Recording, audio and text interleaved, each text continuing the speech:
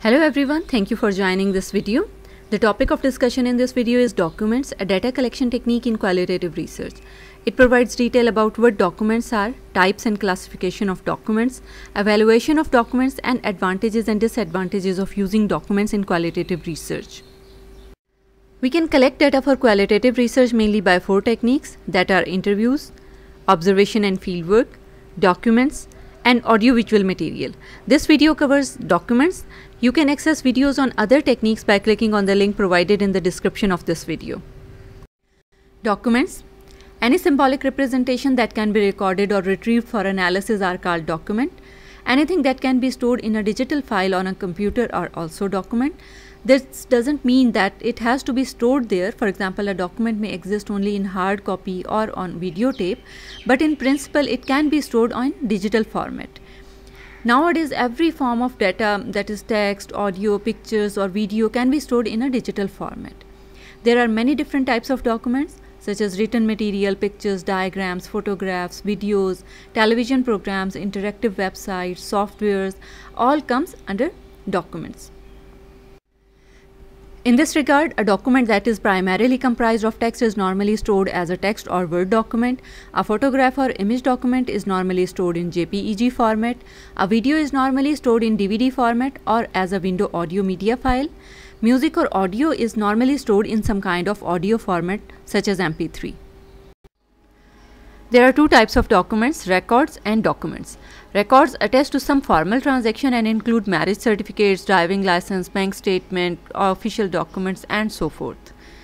Documents on the other hand are prepared for personal rather than official reasons and include diaries, memos, letters, etc. Documents can be used in business and management research. In business and management, there are many documentary sources that a qualitative researcher can draw upon. These documents include company annual reports, press release, minutes of meeting, corporate mission statement, company policies and procedures, websites, and emails. This documentary evidence can be used to supplement the data provided by interviews and fieldwork. Documents can often provide much useful background information that might help you in framing your interview questions, in planning your fieldwork, or in the write-up phase of your project. Documents can be classified into three main categories personal, private, and public documents depending upon who wrote them, not the document's ownership or availability to the wider population. Personal documents include individuals' letters, diaries, notes, drafts, files, and books. Private documents include those that are produced by private organizations for internal purposes, such as minutes of meeting, personal records, budgets, memos, etc. Public documents include those that are produced for public consumption, uh, such as annual report, media statement, articles in newspaper, administrative papers produced by government and private agencies, and these are the single most important category of documentary sources used in social research. We can evaluate documents using four criteria. The first is authenticity. Is the evidence genuine and of unquestionable origin? Credibility is the evidence free from error and distortion. Representativeness is the evidence typical of its kind and if not, is the extent of its untypicality known.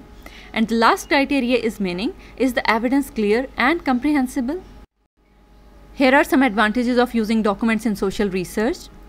Documents are relatively cheap and quick to access. You may also find some documents in an archive that are unique, items that cannot be obtained elsewhere. Documents make things visible and are traceable.